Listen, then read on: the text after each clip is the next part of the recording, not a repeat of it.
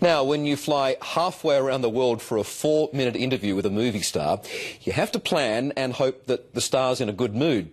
Sometimes things don't go to plan, as Leila McKinnon just found out when she sat down with Denzel Washington. We're going after your train.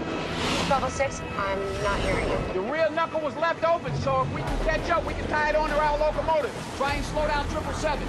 Frank, you can't. We already are. That train's carrying 30,000 gallons of toxic chemicals. Denzel Washington plays Frank Barnes, a man risking his life to stop a chemical laden runaway train. Unstoppable has all the hallmarks of a runaway hit.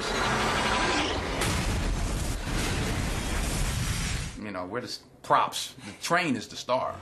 Hey, don't get sentimental on me. Makes me think I'm gonna die. He's actually running on top of the grain cart. Yeah, yeah. I hear you, I hear you. We just lost our brakes. But while the train may be unstoppable, getting the interview started almost impossible. How did you feel about climbing all over a moving train? Uh, you you know, you, you you got used to it. You've had some amazing co-stars. Who stands out, do you think, when you look back as some of the great talents? I don't look back. For what? So what do you look to? Is there anybody that you're keen to work on? What do you still want to achieve?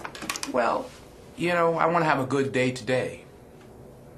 I want to achieve that. You know, take it one day at a time. One of your quotes is acting is a way of making a living family is life. I guess that's something that you never lose sight of. Well, what I said, as I remember it, many moons ago, was that when uh, acting was my life. When I was a young, you know, you're young, oh, it's all I see, acting's my life. But when my first child was born, my son who's 26 now, I realized, wait a minute, no, this is life.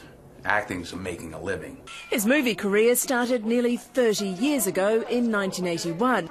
But it wasn't until eight years later that Denzel became a worldwide name, winning an Academy Award for Best Supporting Actor in the Civil War movie Glory.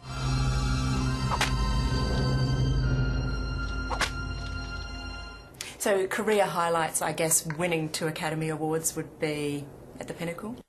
Then you go back to the past again. because I want to show all of this. Hell, great you got stuff. you got some, you got an agenda here say, going. Here's Denzel well, all right, winning. just tell me what it is you want, and maybe I can help you there. What's it yeah, like? I won two Oscars. Yes. Life has taught me to just try and be the best that I can be. And I, I thank the Academy for saying to me that on this given night, I was the best that I could be. Just this year, I won a Tony Award. That was lovely. Yeah. You know, I started in the theater, and I love the theaters. And, and co-stars, I mean, I'd really love to show some stuff with you working with Anyone you like, pick co-stars. Um, Angelina Jolie. Love her. Angelina Jolie and Dakota Fanning were two uh, young ladies who people didn't really know. Uh, uh, uh, but when I worked with them, they were they were two actors. Gene Hackman was another one. That I just found myself watching them in the middle of the scene. I, I was like, wow, this. I just when you when I met Angelina, or when I saw her first film, HBO film Gia, I was like, whoa, this girl's for real. Well, you really are in love with the sound of your own voice, aren't you? No, it's your voice I'm yearning to hear. When pull up a chair, I'm gonna bite you. because in in the, in the film Bone Collector, all I do was lay in a bed. I got all I did was watch her because I had to sit still. But I just watched her preparation, how she would work and work herself right up into the scene. And Dakota Fanning, I'm convinced, is really about 40 years old. You crazy. You love me, don't you? Yes, I do. With all my heartbeat to go. Playing a baddie, is that more fun than playing a good guy? Uh, no, I don't know. Uh, maybe it depends upon the part. Upon the part. Don't do it. You know what they give you for that? The gas chamber. You know what the gas chamber smells like? Pine oil. That's where you headed, boy. To a pine oil heaven. I'm gonna get that gun, and then I'm gonna get that money.